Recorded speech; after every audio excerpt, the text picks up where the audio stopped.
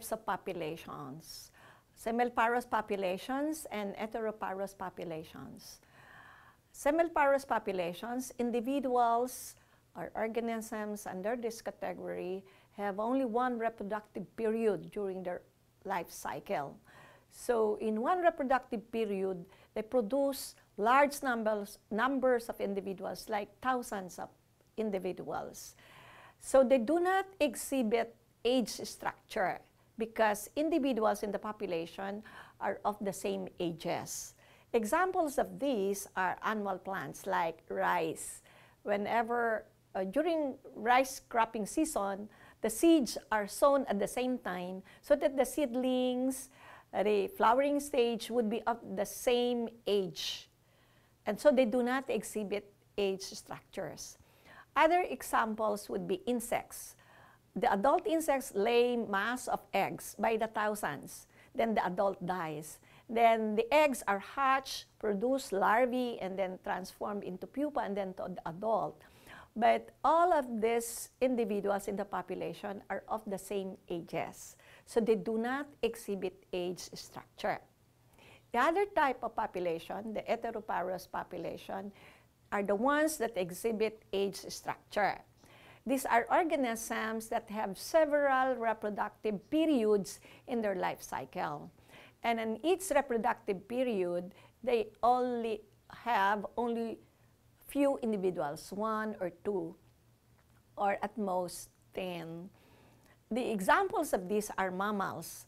We humans are mammals, and we have several reproductive periods.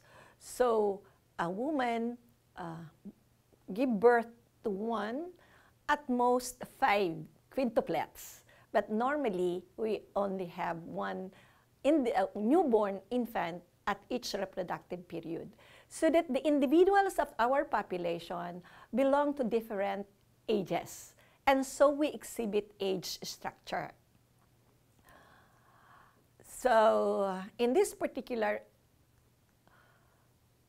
part of the lecture, we are going to show you the age structure of the Philippine population as of 2016. Our population is estimated to be 102,250,000. And the natural increase that is by birth would be 1,724,603 individuals per year. That is 4,396 new infants are born daily.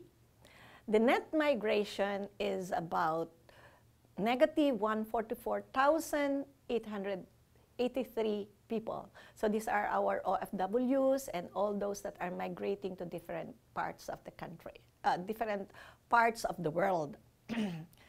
there are, uh, in the diagram of the age structure, you'll notice that you have the male and female segments of the population. And then the age structure would be divided into different ages. So at the bottom would be 0 to 4 and so on. And at the top would be uh, our uh, aged population or the, uh, the very old. Now there are three ecological periods. The first would be the uh, pre-reproductive period, which is from 0 to 14 years old. And at present, there are about 35 million individuals, of which 72.2 million, 17.2 million are female. The rest would be male. And the median age would be about 24 years. The second ecological period would be uh, the reproductive period, which be from uh, 15 to 49 years old. So this is a very important segment of the population because these are the ones contributing to population increase. Our density at the moment is 383.3 people per square kilometer. That would be the average from different parts of the country. The third ecological period would be the post-reproductive, and that would be from 49 to or over 49. It means that uh, the individuals are, uh, uh, have already reached the uh, period when they can no longer give birth. Now, it's very important to understand the meaning of these ecological periods. It means that with the reproductive period from 15 to 49, there are about, at present, there are about 30 million women. And if we just, if these 30 million women are the ones that are responsible for increase in population.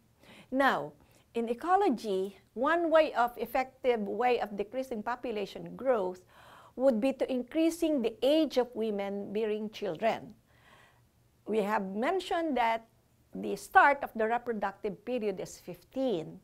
If we increase 15 to 25 through education and counseling, we are actually lessening the period of reproduction from about, let's say, from 49 minus 15, or let's say 45 minus 15, that's 30. If we increase the uh, age of women bearing children from 15 to 25, we actually subtracted 10 years of reproductive period. So that's a very effective way of decreasing population. Let's say, for example, in 10 years that has been removed from the reproductive period, a young woman can already give birth to three children. That is, if the birth would be every three years. Imagine that from uh, 15 to 45, 30 years of reproduction, a woman can already give birth to about 10 children. But if you remove 10 years, that's already 10 minus 3. So uh, the potential of the woman to give birth is only for to give birth to seven children. That's uh, how effective increasing the age of reproduction for women.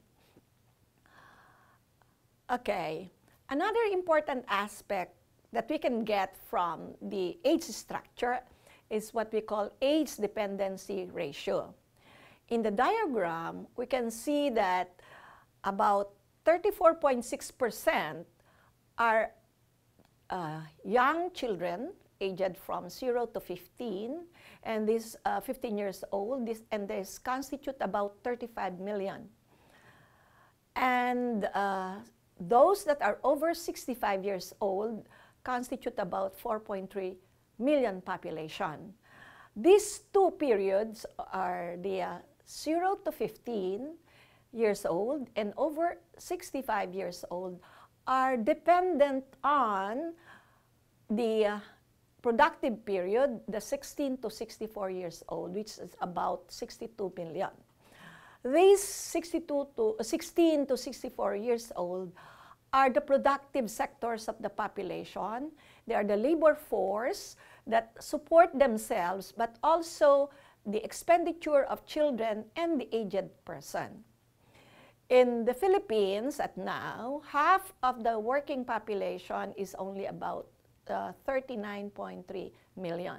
So these are the segment of the population that are supporting the very young, the children of school age, and the old who are already retired. Now, Child dependency ratio in the Philippines is about 57%. To be exact, it's 56.7%. So it means that those in the productive period, the about 62 million Filipinos, are supporting the children and the aged. That's in, on the part of the family. The Philippine government also has investments on this segment of the population that are dependent on the productive sector. In the case of the education, our government has to build more classrooms. And we can see that uh, here in this uh, figure, we have a crowded classroom in public schools. You can hear from the news every start of every June of each year that we lack classrooms and that there are some classrooms here in Metro Manila wherein one classroom or one class has 65 pupils or students. That's very crowded and that's an implication of high population growth. So it's both uh, on the part of the family supporting the young children and on the part of the government. And that's what we call uh, age dependency ratio. Now, how high population growth is also closely linked with economic development. Uh, there is the issue of uh, unemployment and high dependency ratio, which I just discussed.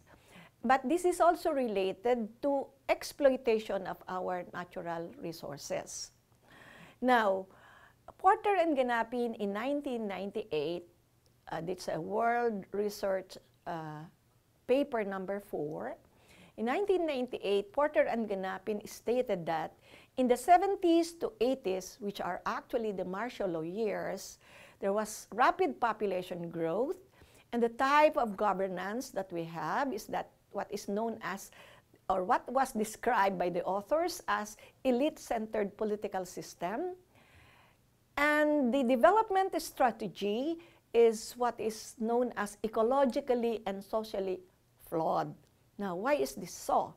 Because the people who do not find employment are dependent for livelihood on the natural resources, which are our forests, our agricultural lands, and our coastal marine ecosystems.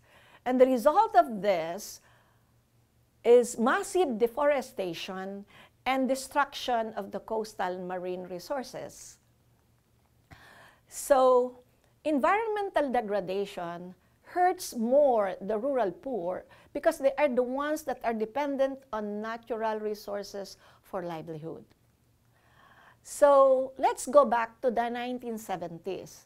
At that time, we have only 35,680,000 population. But if you look at the age structure, notice that it has a very, very broad base. And then the rate of increase is about 2.98% or R is equal to 0.0298. That's a very high population growth. And the median age at that time was 17. So we have a very young population at that time. And most of this, those are entering the labor force cannot find jobs. And so they have to depend on natural resources for their livelihood. Okay. In 1996, from 1970 to 1996, our population doubled from 35,000, from 35 million, it ballooned to 71 million 437,000. So the doubling time was only 26 years. And the, at that time, the rate of population growth was 2.43% or R is equal to 0.0243. And the median age was 20 years old. The fertility rate is 4.14. We'll discuss the fertility rate in a few minutes. Now, notice also again that the base of the population, especially those belonging to the reproductive age from 0 to 14, is still very broad and we experience rapid population growth. So that here in this slide, we'll see the rate of deforestation and as pictured in the Philippine forest cover, as cited by Suarez and Sahise 2010, but it was from the article of Moya and Malayang in 2004. Notice that the forest cover in the 1900 was about 30 million hectares. We have a total of 30 million. The forest cover in 1900 was 20 million. Now, in the 1960s to about 1990, from about 18 million that was in 1960s, the forest cover dropped in 1990 to only about 5 million hectares. So this is what we mentioned earlier as massive deforestation. And why? Because our destruction, the destruction was primarily due to conversion of the forest cover to agricultural lands because there is a need to raise more food for increasing number of mouths to feed. At the same time, our logs were exported to generate foreign exchange.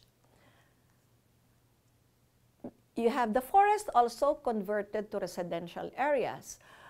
Uh, so you have agricultural lands that were convert converted to um, housing, to subdivisions, and then the people have to open up the forest to, in exchange for the agricultural lands that had been converted to subdivisions.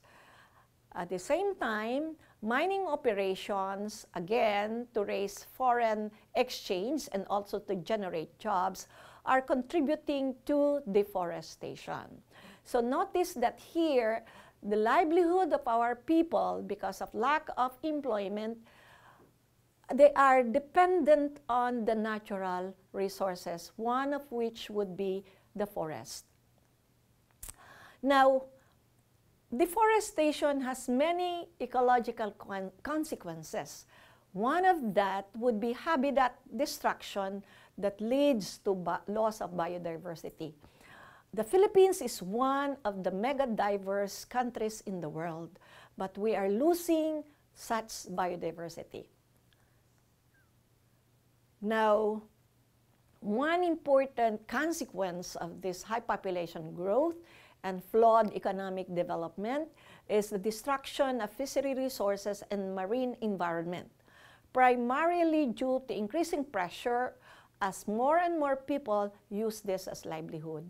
And that's the reason why in the next segments, we featured the eco-tipping point of the Apo Island uh, Fish Sanctuary, how we are able to reverse this kind of destruction of fishery resources.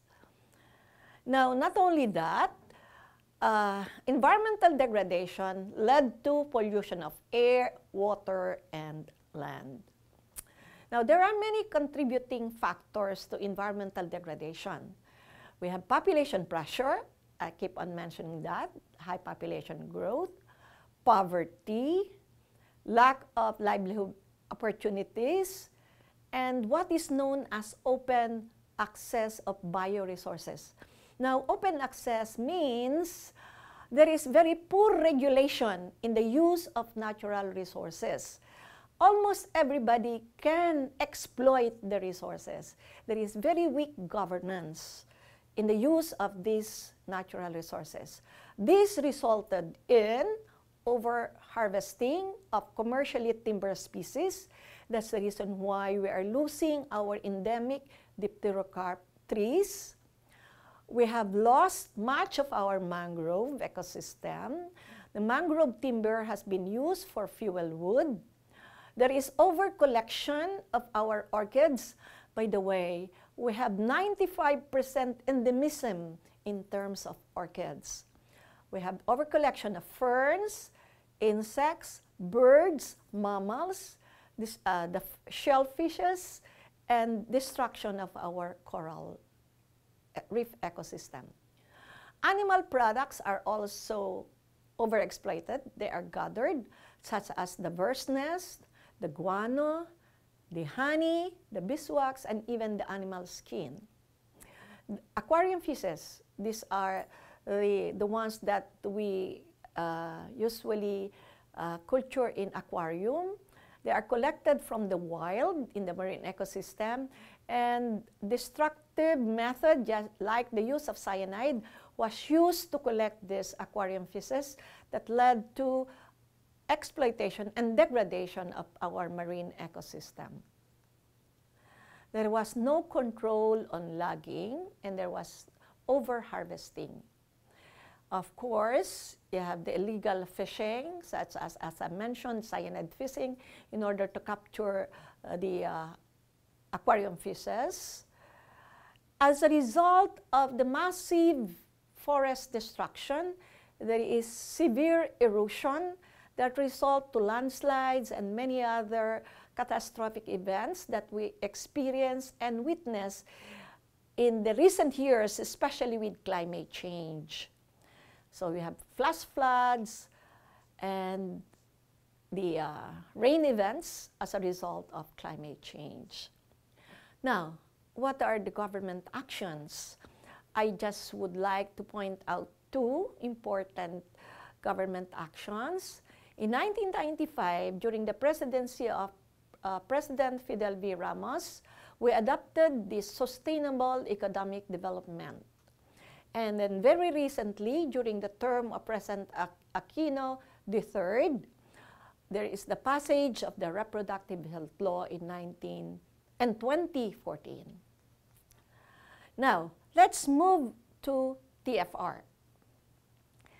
TFR means total number of children completed by a woman over her reproductive years.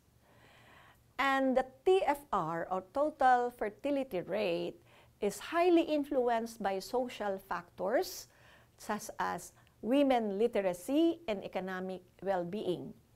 There's a study that educated women have less children though, than those with uh, women of low educational attainment and women that are gainfully employed and therefore would have high economic well-being would tend to bear also less number of children.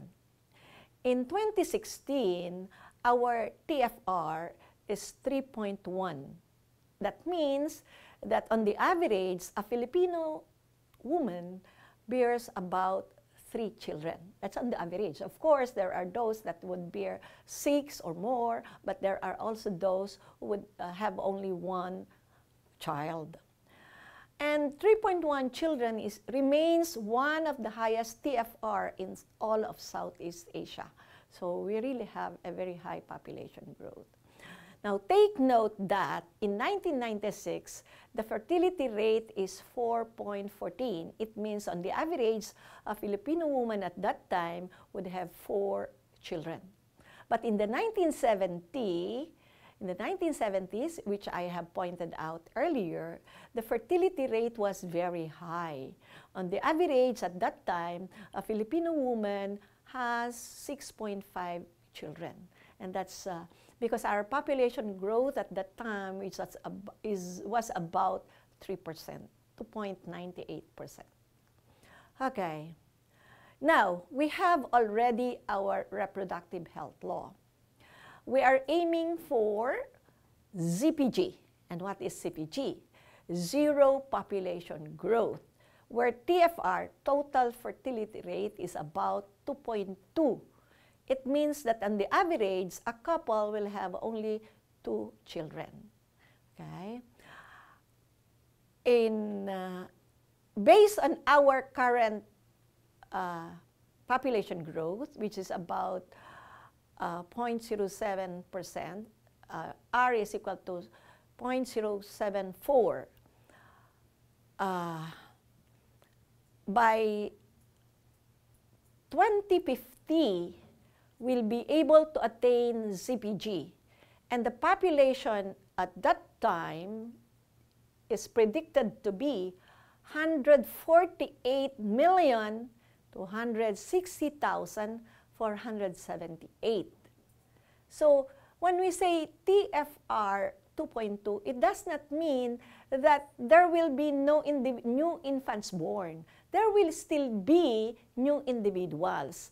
But this is what we call replacement fertility level because two children would mean that they are they will only be replacing their parents, the father and the mother.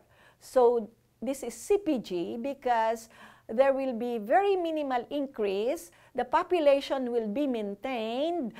A 2050 is what 148 million, 260,478 our population would be maintained around that number. But at that time, 2050, the population density will already be 497 people per square kilometer. Remember, in the previous slide, our population density is only around 393. So by 2050, it's almost 500 people per square kilometer. That is what it means with increasing population and moving towards ZPG. Okay. Now, so this is the age structure when we by 2050.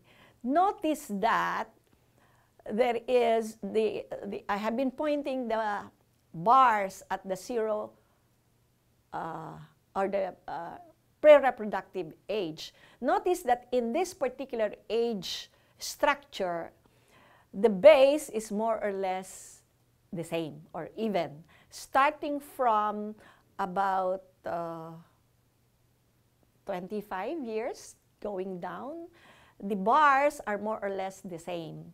It means that the number of people added would be just the same as in the previous year. That's why it's ZPG. The number of individuals moving to the uh, reproductive period will be equal to the number of individuals that are born or the newborn individual. Now, with the reproductive health law properly implemented, we have sexual education already taught in our elementary and high school or secondary education. The curriculum for sexual education will be appropriate for the ages of the pupils. There will be access to family management methods available to almost everybody. We will be able to reach ZPG at a much shorter period and the population may be lower than 148,260,000.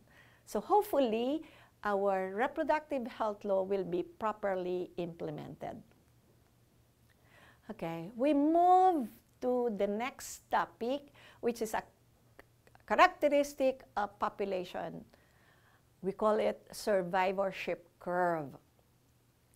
Okay, this applies to all types of populations.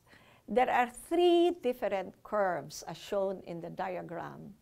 We have type 1, which is the convex, wherein the individuals of the population are able to reach the total lifespan of the individual. So mortality increases as the individuals reach the lifespan.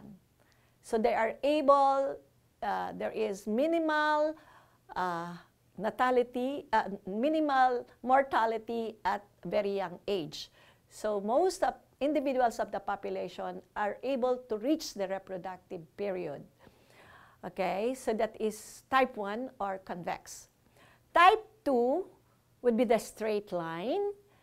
It means that mortality is the same at almost all stages. Now, type 3 is the concave, wherein you have a very high mortality at young age. Uh, here, the environment, the physical environment, the habitat of the organisms would be very unfavorable. That causes high mortality of the young. And the surviving population would be able, only a small segment of the surviving population will reach the reproductive age. That's why it's called concave. We humans belong to type 1 survivorship curve with very good health system, healthcare system. Most of the children, uh, the infant mortality has been lowered, so you have uh, most of the individuals of the population reaching the reproductive age and mortality increases as an individual reaches the lifespan.